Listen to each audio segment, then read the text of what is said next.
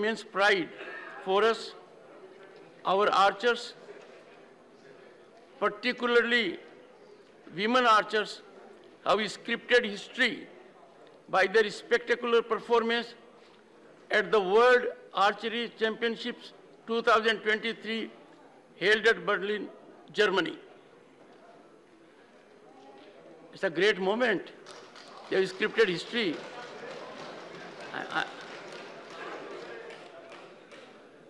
17-year-old Aditi Gopichand Swami secured first individual world title for the country by winning gold medal at the championships. She became the youngest across the globe to win the title across the globe.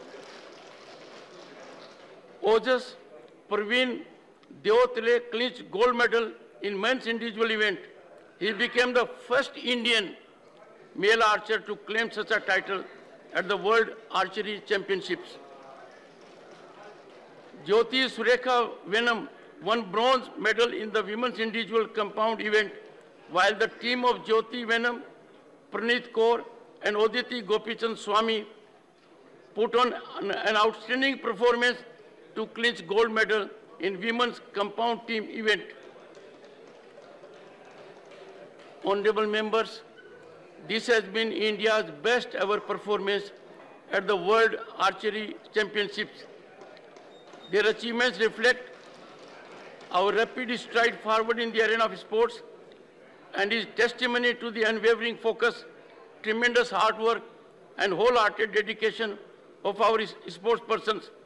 This is also on account of affirmative government initiatives and policies. Their exemplary performance is bound to inspire and motivate the nation. On behalf of the House and my own, I extend our felicitations to the archers and wish them all the success in their future endeavors. We hope they will continue to bring laurels and make the nation proud by their achievements.